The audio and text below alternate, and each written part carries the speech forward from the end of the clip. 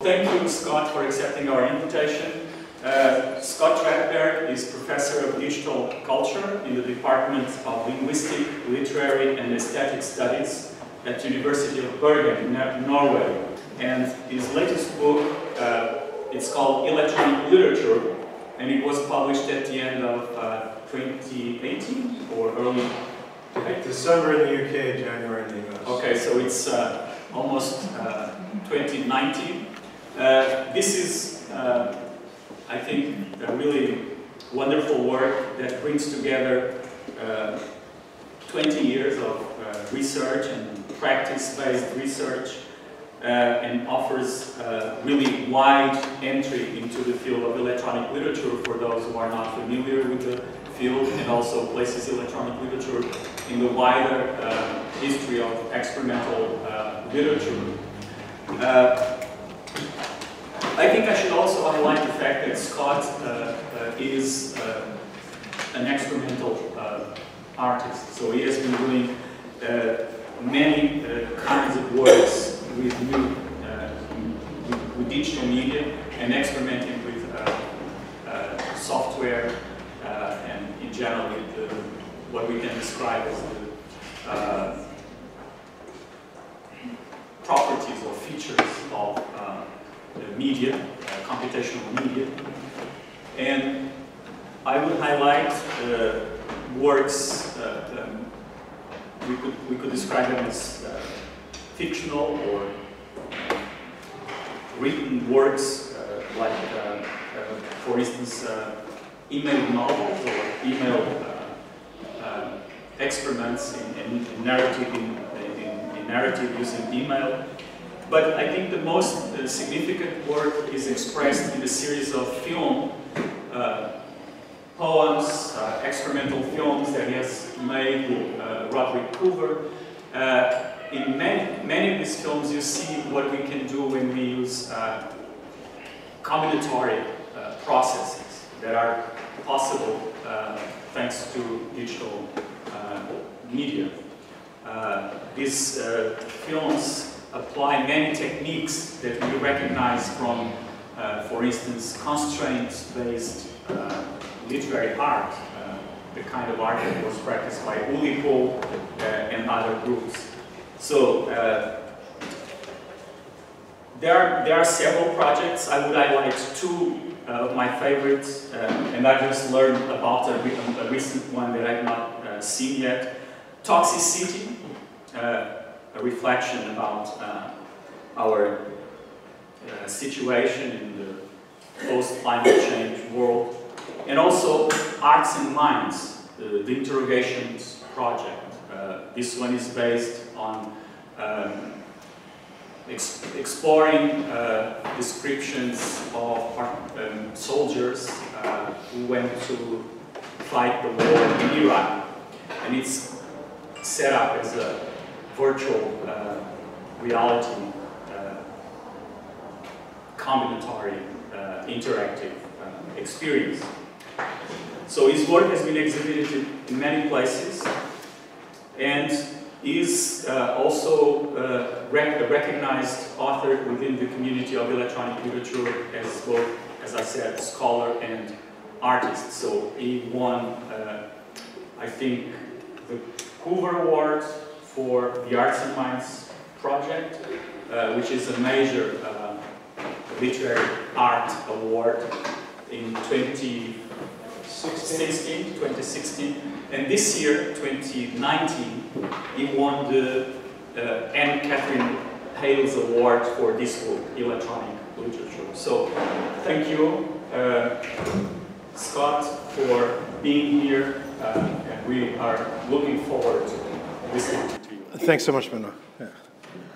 Uh, I'm just going to turn on my timer here because um, thank you for the, uh, for the invitation.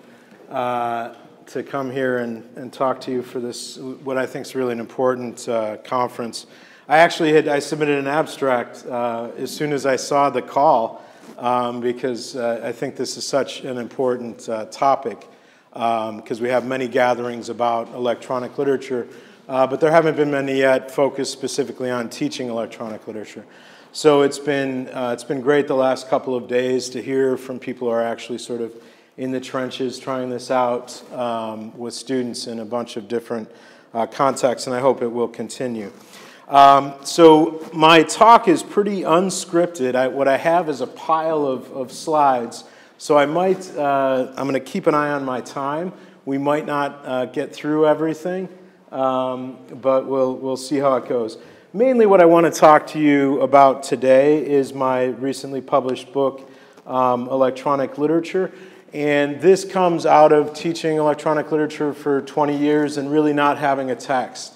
Um, so what I really wanted to do was to put together a book that would look at the histories and genres of electronic literature and rather than focusing narrowly in on one or on one specific phenomena, to try to address as much of the field as possible in a way that would invite people who were sort of unfamiliar with electronic literature into it, and also a book that just selfishly that I could use in the courses uh, that I teach to introduce my students to it. Uh, as Manuel said, I just put this slide in uh, earlier this week just because I was very excited uh, last week to win the, uh, the N. Katherine Hayles Award, uh, which means a lot to me. N. Katherine Hayles is um, one of the most renowned scholars in the field, and she's been a great influence on my career. I edited the first electronic literature uh, collection with her. And her book 10 years ago was titled uh, Electronic Literature New Horizons for the Literary. And this was the first, uh, in some ways, one of the first books to kind of try to bridge the gap between traditional literary studies and uh, electronic literature. Uh, so when I titled my book Electronic Literature with no uh, New Horizon, people were at first a little, isn't that Kate's title? Um, and I said, well, yes, but what we really want to do is look at electronic literature not as a new horizon, but 10 years on, a decade on, when we're looking at a, a really rather large corpus of work, a, a, large body of work, an international uh, field of practice. So uh, even though I was initially opposed to the idea of the man on the moon that my publishers pushed for the cover, uh, once I thought about Hayles' uh, uh, New Horizons for the Literary, it seemed appropriate to, uh, to place uh, an astronaut on the moon, as it were, sort of beyond those new horizons into the present.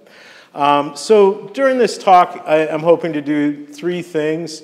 Uh, by the way, the PowerPoint now suggests uh, layouts for your slides, so some of these are, are AI generated. Uh, professional looking slides.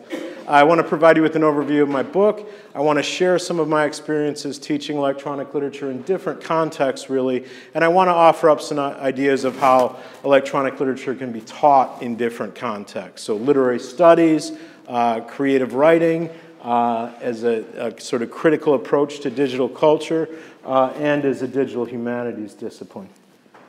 Okay, so I, I, start out the book uh, by asking people to uh, imagine a book, imagine a book uh, as a technology, and think about the properties of the book. Uh, that the book's a technology that took a long time to develop. There's these different, uh, these different aspects of a technological apparatus to it uh, that took a lot of thinking to develop the, the Codex book. Um, and so appreciate that every time we're opening a book, we're looking uh, at a reading technology, right? And then to imagine that the book were different. Imagine it offered other affordances and material properties. Imagine that instead of turning pages, you could make any word in the book a link to some other part of the book or even to some other book. Imagine it were bound on a spool so that you could enter and exit anywhere, a book without beginning or end. Imagine what you would do with that as a storyteller. Imagine what it would mean if every time you put the book up on the shelf, the words on the book shifted and rearranged themselves. Would it be the same book? What would you do with that as a poet? Imagine if, when you pulled the book down from the shelf and opened up the first page, the book asked you in what direction you wanted to go and would not begin to tell a story until you responded. Imagine if the book were a conversation, a novel that you had to talk to. Imagine that as you read a poem on the page of the book, the words jumped off the page into three dimensional space and began flying around the room, shifting form and regrouping in the physical environment. Imagine that when you opened the book, it was filled with threads connecting it to all the other books in your library, which would make it possible to pull part of another book right into the text of the one you were reading. Imagine if the book could read the newspaper and change its content depending on the time of the day or the weather or the season. Imagine if you opened the book and found all of those of your friends who are reading the book at the same time, leaving their comments in the margins. Imagine that when you open the book, those same friends were all writing the book simultaneously. Imagine the book as a network, always on, always connected, and always changing. Imagine what you could do as a reader. Imagine what you could do as a writer. Imagine the book as a network computer. So, the main approach that I'm taking in the book uh, is uh, somewhat controversial in that it's somewhat traditional. I'm, I'm looking at this and thinking about genre. Um, now, why genre? So, uh, some people say, well, that's not cutting edge, that's not new. This goes back to ideas of formalism and, and structuralism that st- stretch back at least a century. But this comes out of my experience teaching, that it makes logical sense to say, all right, when we look at this group of objects together, what are their commonalities? It gives us a basis for comparing things to each other and a basis for sort of understanding and moving past the interface. So when I think about genre, though, in electronic literature, you're always going to have what you might say threads of practice rather than traditional genres. And you're going to have oftentimes many different threads of practice within the same work. Also, when we think about genre, we're going to be thinking both about literary genre and about technological genre, which is sort of a different thing, in that the technological material properties of the form shape its poetics uh, in a different way.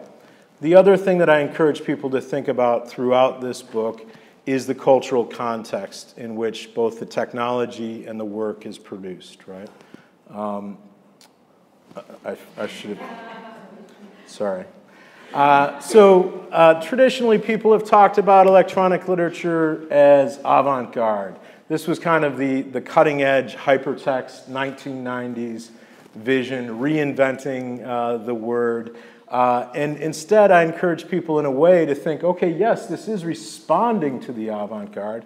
And when we look at these genres, we're going to see the marks of history of the avant garde. But you might say, in a way, we're looking at a garde derriere, uh, to quote my friend Talan Memmott, um, in, in the sense that the authors who are working in these genres are kind of taking some practices from experimental literature and art of the 20th century and then adapting them into a new technological context and doing different things with them. But many of these ideas, and other writers, Manuel Portela is, is a notable one, have, have, have commented on this, and I think uh, a lot of the Portuguese scholars have, have also noted this, that there is a connecting thread between experimental literature uh, from the 20th century and the things that people are doing now with the computer. And that connecting thread might also make it a bit easier for us to understand these things. So the other reason why I'm sort of emphasizing on this approach is that if you don't know your history, and if you say we're inventing something new completely every time, you're just reinventing the wheel unnecessarily. So if you know your history, then you know where you're coming from. And there's kind of two traditional approaches to literary studies. One is to say, let's focus on the rupture. Let's focus on how this breaks uh, with tradition. The other approach is to focus on continuity and to say, uh, how are we understanding these things passing together in time and responding to each other? And that's maybe more of the thread that I'm focusing on because I believe that uh, while rupture is exciting, continuity is the basis for building a field. So this book really is, uh, is a toolbox um, it's meant to be used, uh, it's meant to be applied in the classroom, and it's meant to, in some ways, help people get over some of their, their hang-ups about where these things are coming from. Um, also, uh, their pretensions that they're, uh, that they're reinventing the future that's already passed. Uh, I focus on what I think are five uh, essential genres uh, in, in five of the main chapters. One is combinatory poetics. This is the oldest sort of thread of uh, computational literature, uh, arguably stretching back to the at least the 1950s. Uh, hypertext fiction is the first one that sort of gained widespread uh, critical attention, uh, boomed and then maybe withered a bit um, in the early 2000s. Uh, interactive fiction, this is a form that stretches back to the earliest computer games that were made uh, textually, uh, where the, the player responded using text, and has been a tradition that continued. Uh, and then other forms that use game vernaculars now. Kinetic and interactive poetry. This is something where we have in Portugal certainly a long uh, tradition that stretches back to, to visual poetry, concrete poetry, uh, other forms of uh, visual poetry on the page, uh, and network writing, uh, writing practices that are specific to the network context. So I'm going to very quickly march through uh, the contents of the book just to give you a quick impression. I'm not going to highlight everything here. In the first, the first chapter, we look at these ideas of genre. Uh, we look at the, uh, the history of theoretical, critical, and analytical work in the field uh, to really establish a, a, sense of the field. And we, and we discuss why would we want to go about uh, reading electronic literature to begin with? What are, what are the strengths uh, of this approach? And what are the things that we don't usually think about um, for students in particular that, that, this offers us? Then we look at uh, combinatory poetics. So we start um, with the, the context, the artistic context, and the history. Uh, we look at the idea of pr procedural syntactic uh, generation systems.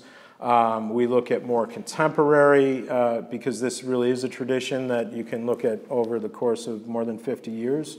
Um, we look at con contemporary things like uh, bots that generate text. Uh, uh, not including those that manipulate elections, but those that are um, specifically meant for poetry. Uh, and new forms of generative uh, poetry, uh, like D David Jhave Johnston's uh, ReRites project, which use neural nets um, to generate poetry. hypertext fiction, which I think the reason why this attracted so much critical attention early on is that it really does kind of spring from modernism and postmodernism. Um, and in, particular, I focus on the book on metafiction uh, and, and reflexivity, uh, something again Manuel looks at a lot, um, with the medium. Um, then we look at the sort of evolution of hypertext as a technology. It's obviously been a very important technology if you think about, um, and not, maybe not too many people think about this, but when you log into a web page, the first four letters you type are HTTP, and that stands for hypertext transfer protocol, right? And HTML is hypertext markup language. So hypertext, in addition to being a sort of uh, form that we can think of in literary contexts, is also sort of the basis of the World Wide Web and many computational systems. Uh, then we look at a sort of first generation hypertext, um, which were uh, pre-web. Um, there was a, a lot of work done before the web, and then as it moved on to the web. Uh, interactive fiction, we start with the, the earliest text adventure games. And the interesting thing that happened was this was a booming industry for a short period of time. Uh, then uh, graphics cards came along, right? And uh, Space Invaders came along.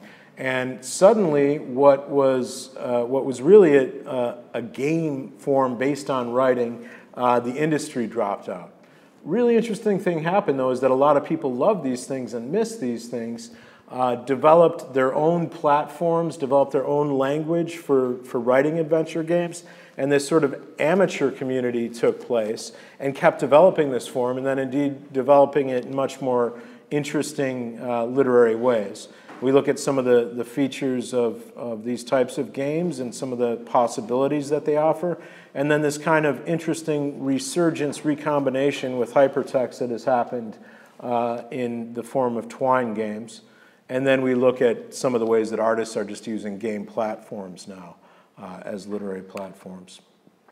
Uh, kinetic poetry is again a form that's rooted in literary tradition, uh, coming out of, uh, and we can, you know, again, uh, go back more than 100 years, looking at concrete poetry, symbolism, futurism, lettrism, visual poetry, uh, some of some sound poetry practices, even title sequences. This is something John Cayley's written about.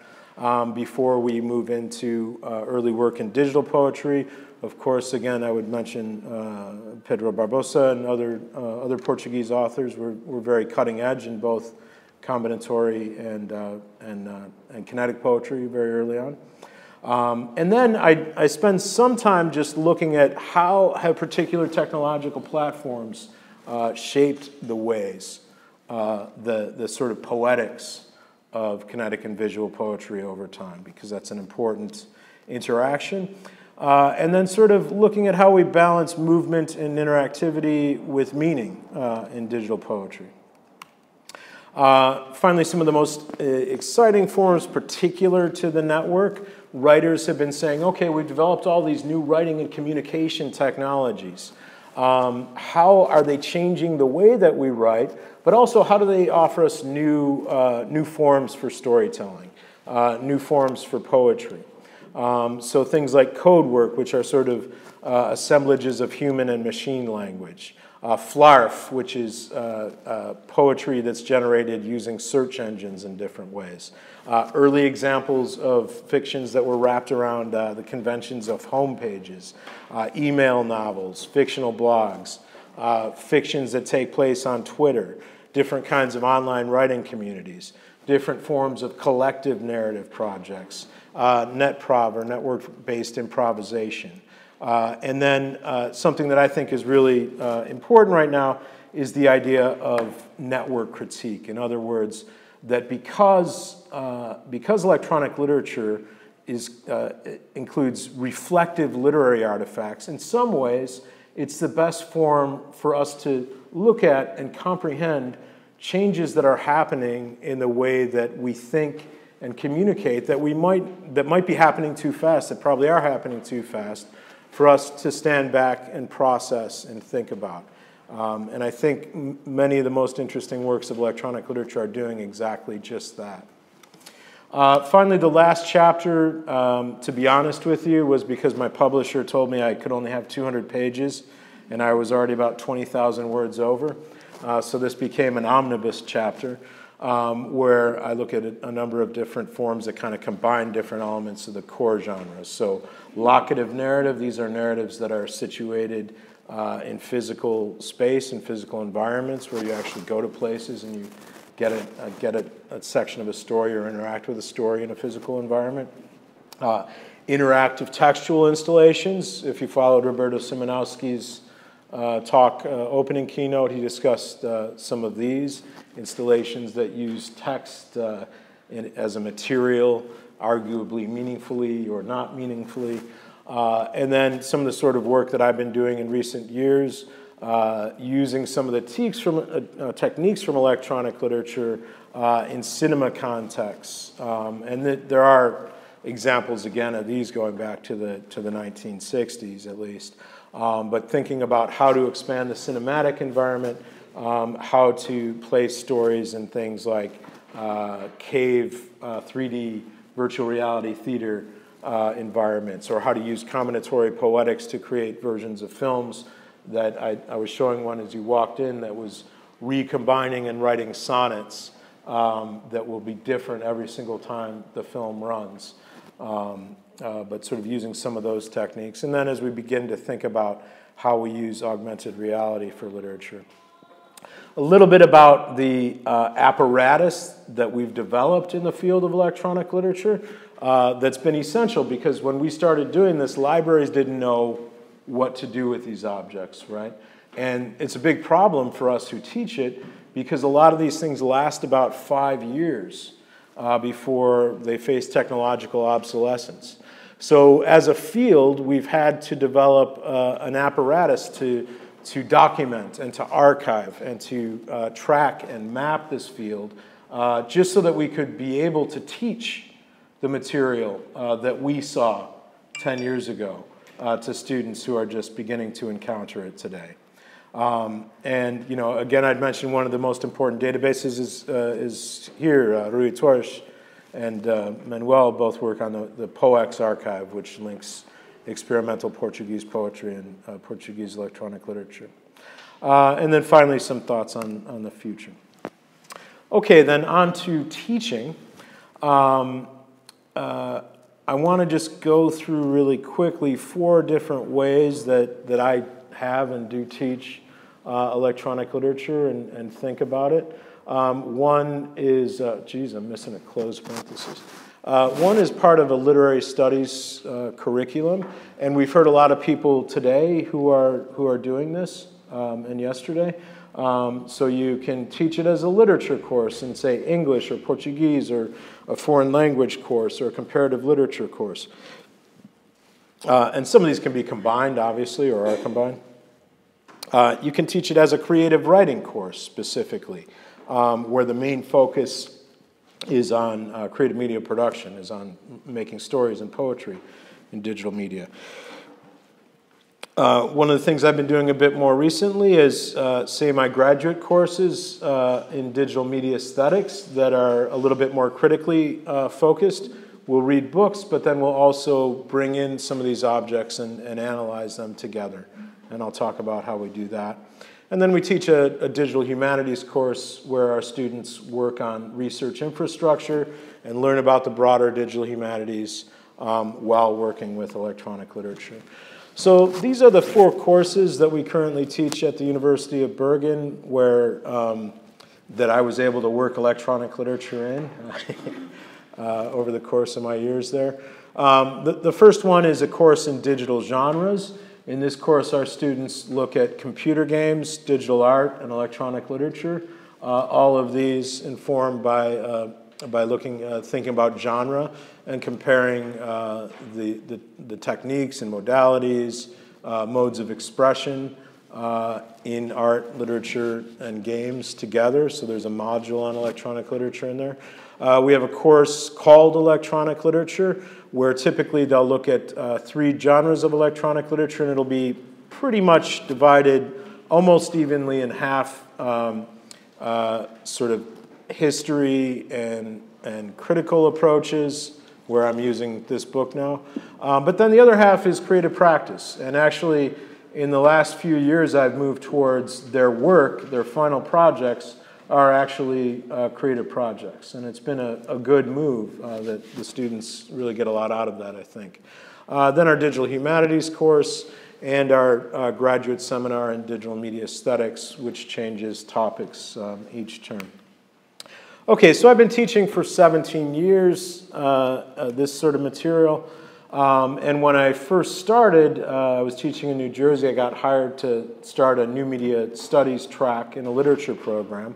And I just, people mention a lot of barriers when you're talking about teaching electronic literature, so I thought I'd mention an interesting reversal that, I, that occurred. When I was teaching in a literature program, and this was 15 years ago, students would look at this in, uh, at ELIT and they'd say, how do I work this? It's like a complicated gizmo. What does this have to do with reading? Can't we just get novels and poetry? This is a literature class, man. So they were, they were kind of hung up on, you know, how do I get, how do I traverse this thing to get to the story or to get to the poetry? Now, um, uh, our students are a little bit more diverse, but they have some technological training and they think a lot about uh, digital culture, but they'll say things like, when they first encounter. This is an interesting interface, great use of JavaScript and CSS. Let me describe to you how this is working as a computer program. You want me to draw, draw a map and explain how it works for you, but why do you want me to read it? Um, I can get it without reading anything. Right? So I think now the, the trouble for me or the challenge, that the trick for me is to get the students to actually uh, to read. It's not, it's no longer explaining to them how to traverse uh, the textual machine. It's how to read. I'm going to go quickly through this because I want to get to the, uh, to the creative uh, part of it without, uh, without going over time. Um, but I want to just show you really quickly sort of uh, an example of how, uh, when I'm talking about these things and in this book, how we weave in uh, literary tradition and technological tradition. So when I'm talking about combinatory poetics, I'll often start, there, there are examples further back, but I'll often start with the Dada, and Tristan Tzara's great um, instructions on how to make a Dadaist poem, which is essentially to take a newspaper, uh, cut out the pieces, cut, cut, cut out words from the article, uh, put them into a paper bag, shake them gently, uh, dump them on the floor, uh, remove one word at a time, uh, and sort of arrange those words in the order that you get them into lines, and then copy conscientiously.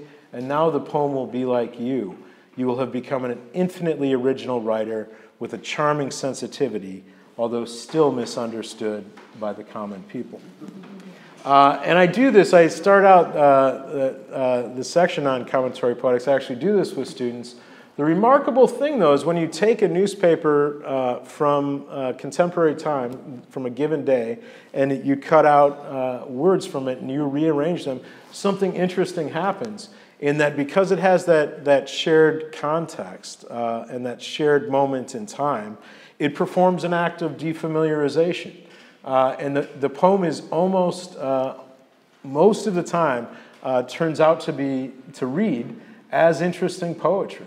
Um, so there's something, there's something to, uh, to this sort of, the, ca- the characteristic of just aleatory poetics. Of course, the Surrealists uh, expanded on this. Uh, they were trying to access the logic of dreams, and they did all sorts of different collective writing experiments, or trying to write from the unconscious in different ways. One of the famous ones, of course, is the exquisite corpse, where either with text or writing, um, one person will write a line or start a drawing, fold it over, pass it to the next person, uh, pass it on until you've filled up a page, and then you'll end up with a poem um, that was written by everyone and written by no one, right? Um, and that involved elements of chance. And many of these, like for instance, there's a great collection of these at the Art Institute of Chicago, are actually quite remarkable um, in that they are these art objects that, you, that no one thought of, um, but are, are nonetheless um, uh, fascinating. Uh, a more famous writer who used a similar method was uh, the novelist William S. Burroughs, um, where he would cut up both texts that he had written and audio tapes, and he would splice in uh, newspaper articles uh, and novels like Naked Lunch. Um, but when he was commenting on his, his friend and colleague uh, William Gysin's cut up technique, he, he pointed out that um, the best writing almost always seems done by accident, but writers, until the cut up method was made explicit, um, had no way to produce the accident of spontaneity, that you couldn't just sit down and will spontaneity. But you can introduce unpredictable, spontaneous factors with a pair of scissors. A classic work, and this is one that I sort of imitated in the work that I was showing, the, the film that I was showing of combinatory poetics, is Raymond Queneau's The Oulipian Poets, 100,000 Billion Poems. Um, this is a work uh, where it's uh, 10 to the 14th power of poem by virtue of the fact that Queneau wrote out uh, 10 uh, sonnets, but with lines flexible enough that they could interact with uh, in, the, in the line places with any of the other uh, sonnets written there, and then cut the page into strips. So instead of 10 sonnets, you suddenly had uh, 100, uh, 100,000 billion sonnets. Uh, the Oulipo is very important, and the idea of constrained writing is very important for combinatory poetics. Um, Harry Mathews is, is a writer uh, who, who, was, who, who developed a bunch of interesting uh, constraints. And the Oulipo is a group of writers and mathematicians who get together in Paris for dinner once a month um, and deliver challenges to each other. Uh, there's some very famous ones, uh, like Georges Perec's uh, Write a Novel Without Using the Letter E, um, which is uh, La Disparition um, in French. Um, but he, he makes this point that constraints have a creative effect in that we, we become so busy concentrating on the effect, this sort of object of desire to us, that if we find ourselves doing and saying things we never would have otherwise, uh, things that turn out to be exactly what we need to reach our goal. And I was sort of friends with Harry, and he told me the story of, of, uh, of where Perec came up with the idea for avoid uh, the novel without the letter E, which was that he, want, he really wanted to write about uh, his parents' disappearance during the Holocaust, but it was too, it was too close to him um, for him to be able to write effectively about it until he focused on this constraint of not using the letter E. And of course, um, I won't talk about all these, but, but computer programs are inherently constrained, right? Um, uh, that's essentially what you're doing when you're, when you're writing a computer program, is writing a sense of a set of constraints that the computer program will then perform. There's a whole tradition of performance scripts, uh, such as the, the Fluxus, Uh, one very simple, and this might sound like, oh, why would a, a literature professor cite these? Mad Libs um, are something that probably some of you are familiar with from your childhood, where you take, uh, you have a given text and you have a set of, of types of words that you can substitute in and out. Uh, many text generators, computer story generators, uh, work according to similar principles. Um, and that childish joy of discovery, I think, is something that's uh, familiar to many of us. I won't go into, into all of these examples, but there's also a really close connection with the generative music tradition. One wonderful thing I found out a few years ago that I didn't realize was that, for instance, David Bowie uh, used generative software to write uh, many of his lyrics. Um, so if anybody says like electronic literature uh, is never going to be a popular art form, uh, I, I give you David Bowie, ladies and gentlemen. Um, the history of this stretches back to technological uh, experimentation. Many of the people who wrote the first uh, generators weren't setting out to be digital poets. Uh, probably the first one by Christopher Strachey was the love letter generator. And if, if we look at a text like this saying, Duck, duck, you are my little affection, my beautiful appetite, my eager hunger, my covetous love lusts for your infatuation. My yearning anxiously clings to your fellow feeling, yours eagerly, MUC. Now, this doesn't seem like a, a really effective uh, love letter necessarily. It seems in many ways like a, a parody of a love letter. Um, interesting thing about Christopher Strachey is he was rumored to be uh, uh, a lover of Alan Turing. Actually, he was he was uh, he was a gay man in um, in the 1950s in the UK. Um, so there's a, a, bit of theory around this piece that one of the things that he was doing was sort of uh, making fun of uh, courting traditions or heter heterosexual uh, conventions. Uh, and of course, MUC is actually the Manchester University computer um, that he offered. Uh, another work from the 1950s, uh, Stochastic Text by Theo Lutz. Um, I can't really, uh, I can't really read the, the German, and I don't have the. Oh, I lost the slide with the English. But one of the fascinating things about this, um, and I don't have the slide with the English, so only those of you who speak German will understand this. Um, but this was just to see if he could write a computer program that would generate aleatory texts. However, the poetry is actually kind of interesting. Um, one of the reasons for this is that he was, he was using titles from Kafka novels as the corpus of his text. Um, but you end up with some, uh, some really interesting texts as a result of uh, this very simple form of generation. Probably the first uh, poet explicitly to say, I want to set out and create a, something that generates poet is Alison Knowles, who worked with uh, the composer James Tenney, who had a, actually had a, a sort of uh, residency at Xerox uh, Labs in 1967 and said, hey, why don't we try to make something with this uh, computer? Um, uh, so they wrote the computer program, A House of Dust, um, that, uh, that generates very simple poems that describe a place, a house of dust, um, uh, uh, to the sea, um, and then it has another uh, element, lighting, and then inhabited by X. The fascinating thing about this is they use this as the basis for many other art projects, including, um, uh, in, including in addition to the poem, they built some installations. So they would generate these and then build architectural installations. They also did a poetry drop where they got a helicopter and they printed off about 10,000 pages of this poem and then uh, dropped it from the helicopter to a, a waiting um, audience. A fascinating, absurdist project. Um, probably not the first. I think Pe Pedro Barbosa would disagree. Um, but the, uh, what was claimed to be the first book um, written by a computer, The Policeman's Beard is Half Constructed um, by Racter, um, is a fascinating work. Uh, people didn't believe when this was published that it was actually generated by a computer program. They said, "Oh, you must have been you must have been cheating." Um, it was a, a pretty good uh, program with a complex uh, uh grammar, um, generative grammar.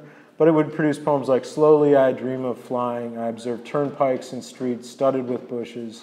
Coldly my soaring widens awareness."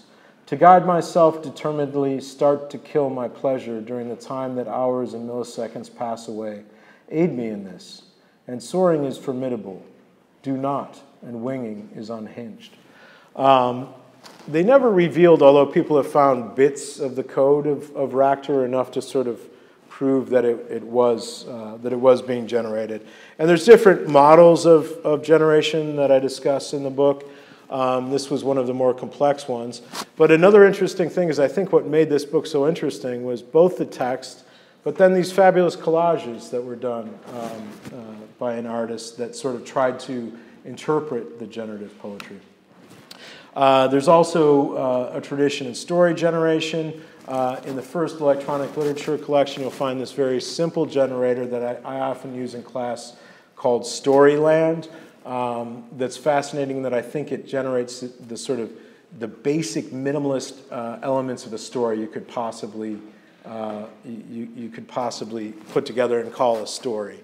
Um, and yet they, they actually read pretty well uh, for stories of about six lines long and demonstrate that you don't really need much. You don't really need much uh, to, to hang a plot on for people to interpret it as a story.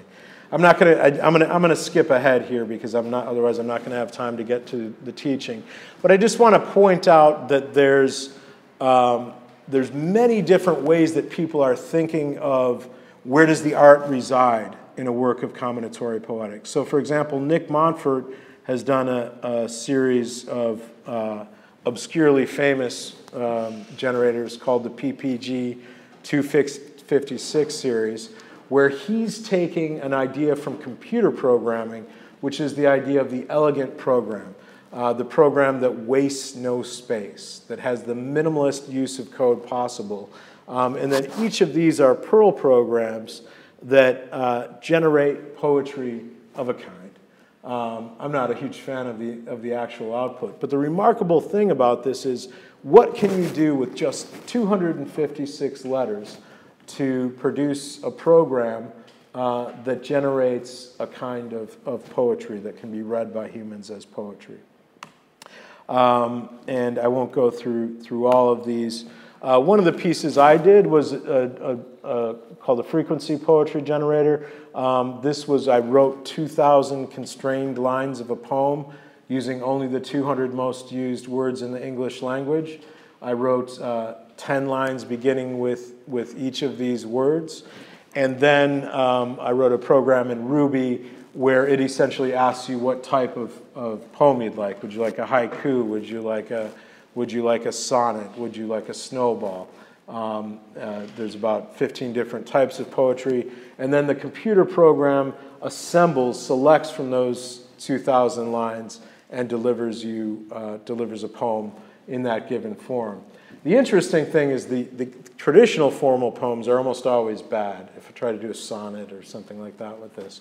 But I realized that because of the character counting capabilities, you could actually invent some new forms. So for example, uh, snowballs work well, but things like uh, two towers is, is, is one of these, where the computer program selects the number of characters to build one tower and another tower, and then creates this, uh, this kind of poem that you, that you read across. Um, yeah, and there's plenty more to say about that piece, but I won't. Uh, Evolution by Johannes Heldén's a fascinating work um, where they were trying to take the style of Johannes Haldine, and he said, What I'm trying to do is to make myself uh, irrelevant. Um, so we're going to create a computer program that uh, studies my work and mimics my style, and then I'll stop writing poetry. Um, so the, it, it, it, doesn't exactly do that. Um, but they use, uh, but it's a very, it's a fascinating program. Then there's things like Pentametron, um, which is a bot that finds um, couplets. Uh, my profile looks exotic. Who agrees? I absolutely love Alicia Keys. Uh, can you imagine heading back in time? High, high resolution picture of a line, right? Or the similar Times haiku at the New York Times uh, which finds in, within the articles of, uh, within given text articles, it finds naturally occurring haiku uh, and then publishes them every once in a while. Um, so these are just accidental uh, haiku that a computer program recognizes. And then uh, Jhave's recent work, uh, Big Data Poetry, uh, which I think is going to be a, a sort of highlighting a new trend um, where we can, have, we can sort of feed neural nets a corpus of text. And then what Jhave did was for, I think it was eight, six months or eight months, uh, every morning he woke up to a huge body of text produced by the computer and then spent the day editing these computer poems. So he was, he was writing, he was interacting with them. But then at the end of the day, he'd have, say, 10 new poems. And at the end of each month, he published a book of poetry uh, that was co authored by him and by the machine. And I think this is a sort of really interesting reversal of roles here, um, where the human becomes the text editor. All right, on to teaching. Um, some core ideas that I use when I'm, when I'm uh, teaching ELIT one is I try to inform the writing by reading and knowledge of existing works and genres. I think not enough people who teach electronic literature's creative writing actually do this. Um, I think people sort of leap in and just say, okay, here's a tool, uh, make something with it, right? Whereas I, I think it, it's useful to step back and, and, say, okay, what's been done before? Uh, let's get an, an, awareness of, the, of the, the area that we're working in. Uh, I also emphasize collaborative practice. Most of my work over many years has been uh, made with other people. I love to collaborate, and I think one of the great joys of the network and digital media is that it's really a social, can be a social practice of co-creation. Um, I try to allow students who are strong in particular areas, say a student's really good at writing and others good at editing, somebody's a visual artist, a musician, some people are stronger at using code. Uh, and part of the reason why we do things in groups a lot is to say, all right, well, you focus on that. Use your particular talents. Um, I try to emphasize um, ideas, stories, poetics over techniques. In other words, I'm not teaching a course in a given software platform. Um, I'm not teaching people to use Photoshop or C++, Python. CSS, etc. Um, I'll try to support that and, and send them places and give them opportunities to learn these things. But what I want the students to focus on is what they're making and how to, and think about from a scalable model of how they can uh, tell a story. Um, so we try to also spend quite a bit of the time looking at the work that they're doing and talking about it together uh, sharing it, not creating a one, you know, just professor to student, but as a group. And then I always, uh, you know, I'm not trying to create a professional class of ELIT writers. Uh, it would be virtually impossible to do so um, because very few people actually get paid to be ELIT writers, right? So I'm always trying to think what are they going to learn as a result of doing this? Digital literacy, things like project management, um, things uh, like how to encounter digital media as a creative space rather than one that you're just sort of fed content from, right? Um, because most of my students will go on and do other things, and that's certainly the case in our, in our digital um, culture program. We're not trying to get people published in the New Yorker. So really quickly, four examples of assignments that I do. Uh, the first one is to hack a gorge. Uh, the second one is to work with interactive narrative and Twine. Uh, another one is to, to create a locative narrative. Uh, and the third is to perform a netprov. So the story behind uh, Taroko Gorge and uh, Tokyo Garage, uh, Nick Montfort, a close friend of mine, created a poetry generator about that's a nature poetry generator called Taroko Gorge um, about a national park in ta Taiwan um, that I really liked because this sort of inversion, I'm going to create a this sort of machine-based form that creates a poem about waterfalls and uh, gently flows over time and continues generating this. Um, and I love the elegance of the code when I looked at uh, the code that, that Nick had written. As always, very tight, minimalistic code. And I looked at the language and I said, geez, that's not very much language. Um, what if I decided to improve it?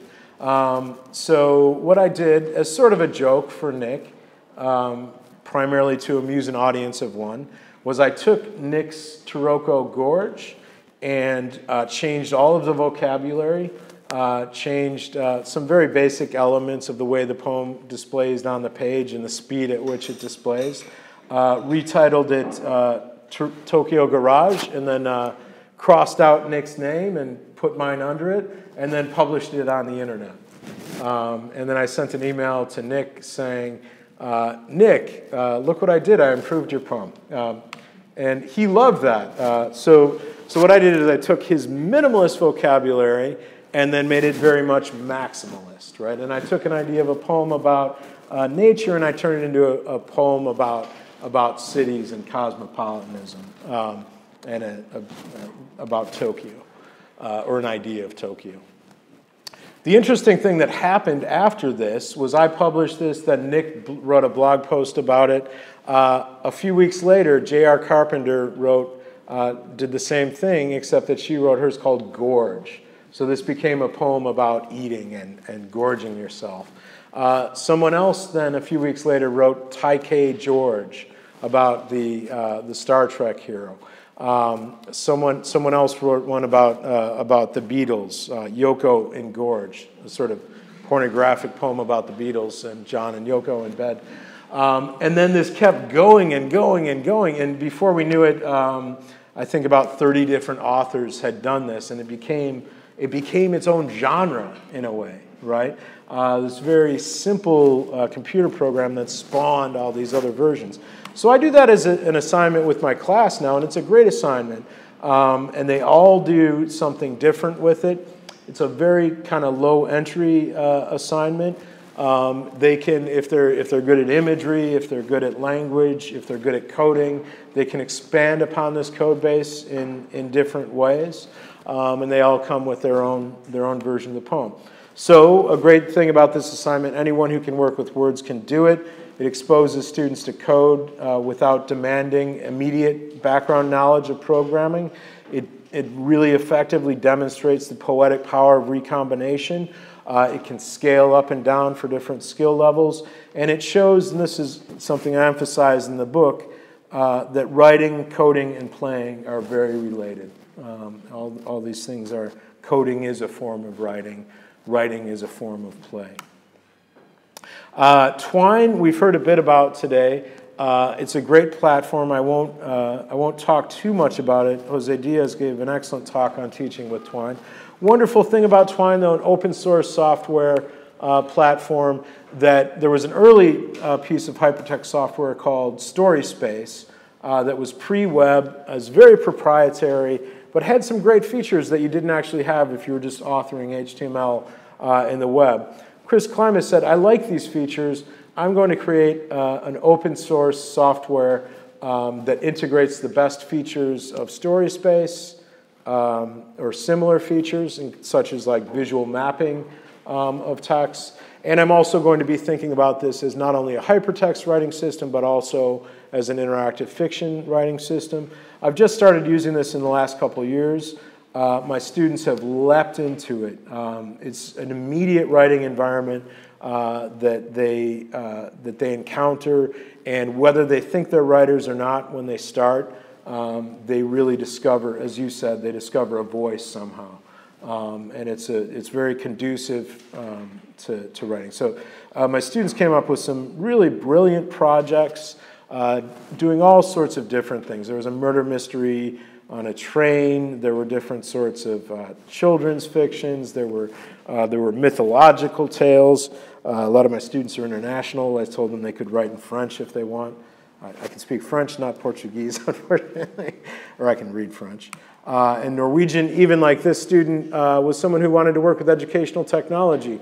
So he wrote, uh, he wrote a story that it was a, a, basic story, a children's story, but it also was like teaching math and basic reading and some of the, he was kind of trying to map it onto some Norwegian education uh, objectives. Um, so it was just remarkable, uh, the kinds of things they came up with. So great thing about Twine, uh, very, again, low learning curve. You don't need a lot to get into it but it's highly extensible. So you, if you have programming knowledge, you can build upon that. It integrates the best features of that early software and elements of interactive fiction software um, and exposes students to those conventions. So they read the chapters on hypertext interactive fiction. They have some background, and then they leap into Twine. Uh, it's immediately interactive. Uh, it, you can embed images and sounds, so there's multimedia. Uh, it's immediately publishable, shareable, and there's this large, young, enthusiastic user community. Um, so students have questions about some technical aspect of Twine. I just say, you know, go to the Twine community, and they find people who, who respond to them and support them. Uh, another sort of assignment, again, I won't go into too much, but this is uh, one we did when Mark Marino was a visiting researcher with us. Uh, and I've done a number of these different sort of uh, locative narratives. And these can be very simple technologically, right?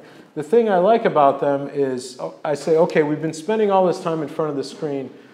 Take a notebook, take a pen, go out in the city, and I want you to write a fragment of a story set in a particular space, right? And then we can use technology to map these things together. One really simple way we did with this project was like Google Maps, right? We could also use like QR codes and stickers where you you know, you take your phone out and you see a QR code on a public space and you get delivered a chunk of story. You could use AR to do this, right? Um, but building stories together in a physical space and sort of getting that idea that electronic literature doesn't need to mean, you know, I'm just diving into the screen, but it can mean we're getting out into the world and telling stories in new ways. Um, yeah, so uh, there's concrete sets of constraints. You need to work in a physical environment, you get to think beyond the screen, um, and it's ideal in a way for teams of people to do this. The other sort of, I'm sorry, did you were you taking a picture? uh, the other, the other uh, great form that, that we use a lot, and I do uh, again with uh, Mark Marino and Rob Wittig, do this every semester. They have NetProvs where they encourage people from universities all over the world uh, to join in and just writers to join in. I, I play along with these a lot. Um, we, you can, of course, generate your own, but the idea is network based improvisational writing in everyday platforms. So, saying, all right, what if we decide we're going to do uh, the most common one that they use is Twitter, right?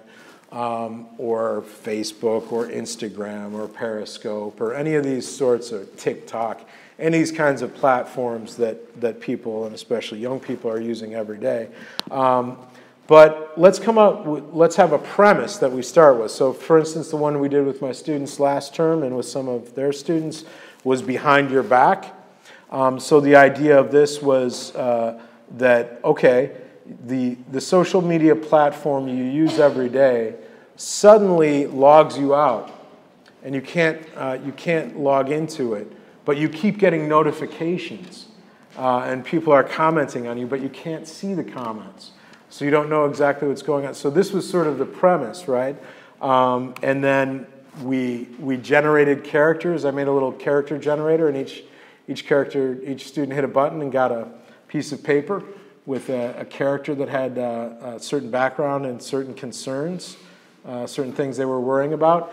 And then we all jumped into the, to the Twitter flow, use a hashtag, and all of a sudden we're joining this story that's being collaboratively developed by sometimes you know 50 100 people right uh, and NetProvs is a, a, separate topic they're sort of steered in various ways and that plot elements will be introduced by the people directing them uh, but if you haven't tried them both for your students and just for yourself, I would say. Uh, it's, uh, it's great fun and, and, a great example of collective writing, which is something I also um, write about in the book. Um, so we're running, uh, we're running pretty close to out of time now. Um, but uh, some different things about this assignment that I think are useful. We're considering the constraints, effects, and uses of social media. This also allows us to look at this from a critical standpoint, often often the themes are critical of our everyday practices on the internet.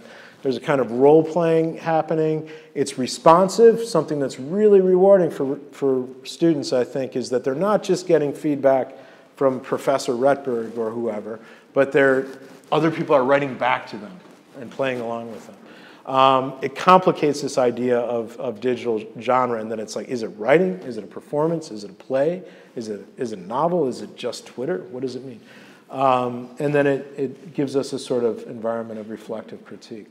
Um, the sorts of things that I do in our digital media aesthetic course, uh, I'll often take a given uh, theme that we'll think about. For example, the relationship between environmental studies and, and the digital humanities. And then we might read books, for instance, like Jussi Parikka's kind of critique of uh, uh, the effects of computation on the geology of our planet, or uh, Lisa Swanstrom's Animal, Vegetable, Digital, or Soren Pold's uh, The Meta Interface. Um, and these are works that, uh, that are theoretical and deal with themes, but also often deal with, with digital artworks. Um, and I might use the ones that are discussed in those books or bring in new ones and say, all right, let's look at this theoretical framework and then let's look at these art artifacts and think about how we write about these within that frame. Right? Or, um, or for instance, if we were going to be uh, if we're going to look at social media and, and large uh, internet companies from a critical standpoint, we might look at one of Roberto's books or The Googleization of Everything or the novel The Circle by Dave Eggers, uh, and then look at projects like the um, uh, American Psycho project that was discussed during uh, Roberto's keynote or um, John Cayley's How It Is in Common Tongues, which was uh, which is actually virtually identical to the text of Samuel Beckett's How It Is, except that all of the phrases an algorithm searched for and found all of the phrases in the book uh, on Google searches and then cites those individually, uh, thus demonstrating both the sort of absurdity of the copyright regime uh, and also how Google encloses and, in a sense, owns uh, language or Ad Nauseam uh, by Daniel Howe, which is a, a plugin that clicks on every ad on a given page uh, and then delivers those images uh, back to you, creating a, a, profile for you of who uh, Facebook and the advertisers think you are.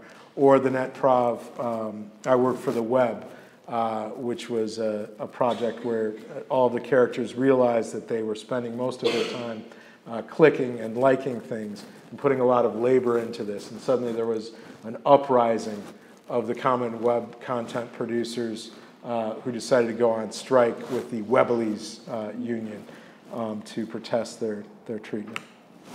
And then finally, and this is something that I know is done, uh, at least I know that Rui does uh, similar things with some of his students. There's a lot of technological infrastructure involved in electronic literature. We host one of the um, uh, one of the largest database, open access research databases on electronic literature at the University of Bergen, uh, the ELMCIP Electronic Literature Knowledge Base, which if you haven't checked out, I encourage you to use and to contribute to. But we have a course where we're studying the digital humanities broadly, but then students work very specifically with our database both developing it and learning from it. So they're contributing to the large-scale documentation of the field. Uh, they're learning about uh, theory, debates, context of digital humanities. They're getting kind of very specific research training in databases and archives. Uh, and then what they do is they develop individual research uh, collections, which are sort of mini databases within the database uh, that are based on research questions. Uh, then we teach them how to do some data mining and visualization uh, using the database. So a few examples of the types of research collections, and these weren't all done by students. I threw this one in for Luciana. Unfortunately, she's not here, but she developed a, a research collection when she was a postdoc with us on Brazilian electronic literature. Um, I think the, the video is not linked right now, but there's a great interview with Manuel and Rui in the, uh, done by Alvaro Seiça. That's part of the Portuguese uh, uh, electronic literature collection. So these are things that are in the wider database, but then they're a kind of focused set of things. But also things that are thematic, like uh, Hannah Ackermans, one of our current PhD students, is doing one that's specifically on interventions of digital texts in physical spaces. And then for their final projects, what the students will do is develop a specific research question. Like there was a philosophy student who took the course who was saying, I'm really interested in uh, Wittgenstein's concept of language games. Um, and what I'd like to do is go through the database and uh, map uh, given works uh, using vocabulary from, from Wittgenstein, uh, and then visualize to see how, uh, how these Wittgenstein's terms might apply to ludic works on the web. Um, so these are, I'm, I'm, wrapping up now, but those are sort of four, four, different, um, four different approaches each different types of courses, right? So it's one of the things I want to emphasize and emphasize in the book that there's not like, there's not a cookie cutter a way of teaching electronic literature, but in fact, this body of material is rich in many different types of teaching contexts. Um, yeah, so, and I haven't mentioned much the primary and secondary context, but some recommendations I would have in addition to universities if you're teaching uh, uh, primary, secondary, consider, you know, uh, invite authors and digital artists in the schools just to expose students to work. Um, make workshops where, where students get engaged in the creation in digital media. Um, there's a whole subset of work that we did a project called Kid E-Lit, and I know there's one happening in, in Portugal now as well uh, that, that Rui mentioned. Um, and there's been similar projects in, in France and other places. But we, we did a series of exhibitions across the Nordic countries of just really innovative interactive ebooks and other uh, types of digital literature made specifically for children. Um, and that's, that's beginning to develop as a field within children's literature as well. Um, again, think about all these different, and then think about all these different contexts digital literacy, art, children's literature, English and foreign language, uh, where this work can be material, uh, materially useful. Okay, just to conclude, for those of you, most of you are familiar now with the field, but uh, there's a bunch of electronic literature out there available for free. Um, the electronic literature collections published by the Electronic Literature Organization are a great place to start. Uh, there have been three volumes now, each with more than, I think, 50 works. The last one was uh, immense. Uh, they went crazy, the number of, of, works that they published. But to get a sense of the diversity uh, of approaches that, writing, that writers are taking, uh, this is a great place to go. When we had when the ELMCIP project 2010 to 2013, we put out the first specifically trans-European um, uh, collection that included a number of, of works in many different languages. Of course, the electronic literature knowledge base. And by the way, I hope that all of you who presented at this conference will, uh, if you don't have an account, ask for an account in the database and create a record of your presentation and of your uh, creative and critical work. And finally, a bonus uh, that goes along with this book that's uh, available for free. Um, I worked with a graduate student, and for every, every chapter of this book, we created a, a separate research collection within the knowledge base uh, that has links to all of the uh, documentation of all of the creative works, all of the critical writing referenced, all of the authors that were referenced uh, in those individual chapters. So if anyone's thinking about teaching this book, um, that's a great additional supplement uh, to use when you're teaching that. So I know I, I, know I threw a lot at you uh, very fast, um, but I hope that this presentation was useful. So thanks, tusen tak, uh, muito obrigado.